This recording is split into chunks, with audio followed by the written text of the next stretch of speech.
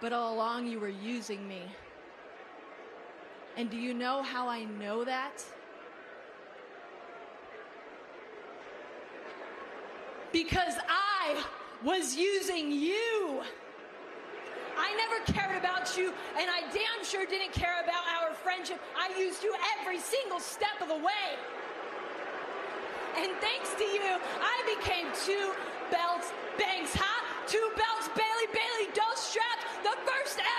Grand Slam Women's Champion. And thanks to you, I am the longest reigning SmackDown